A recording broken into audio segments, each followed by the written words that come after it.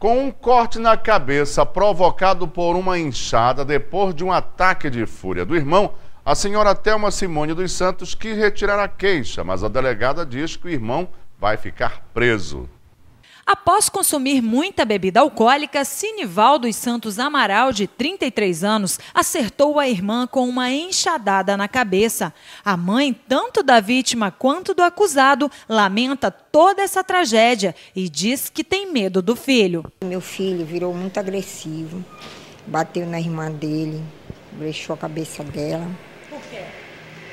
Por causa que ele estava muito bebo, ele.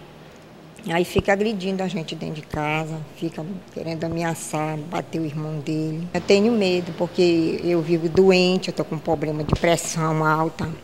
Há seis anos atrás, o acusado foi vingar a morte do pai e, segundo a família, acabou levando cinco pauladas na cabeça, o que provocou várias sequelas. Até hoje, ele usa remédio controlado.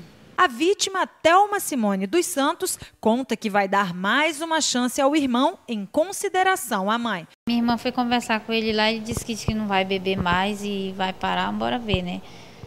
E eu vou fazer o seguinte, eu vou mandar ela soltar ele, aí deixar ele um dia solto aí e ver o que, qual é a reação dele. Aí qualquer coisa a gente retorna para cá de novo.